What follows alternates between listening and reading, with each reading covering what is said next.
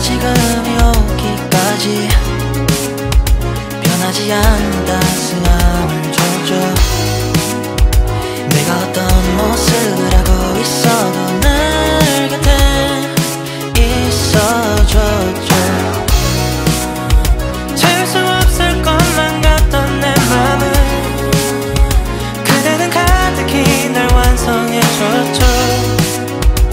이제 나눌 수 있을 정도로 좋은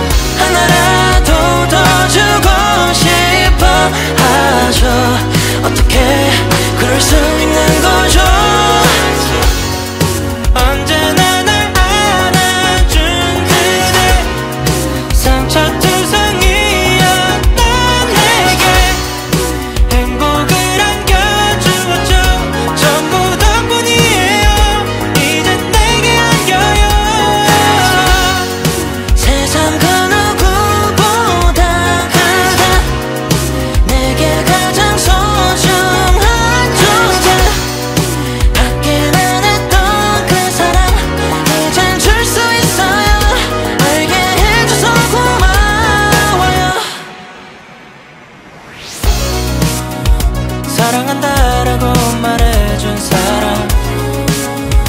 말하지 않아도 보여준 사람. 이게 사랑인 거라